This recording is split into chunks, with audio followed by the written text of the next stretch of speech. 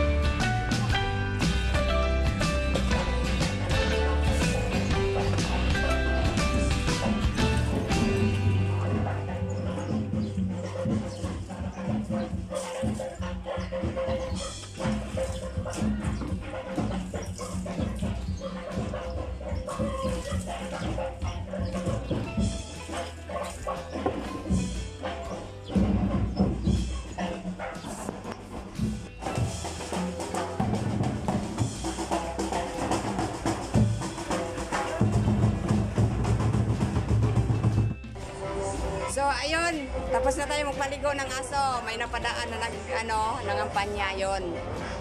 Yun na yon. Salamat po sa inyong panonood. Don't forget to like and share. I love you all. Mwah!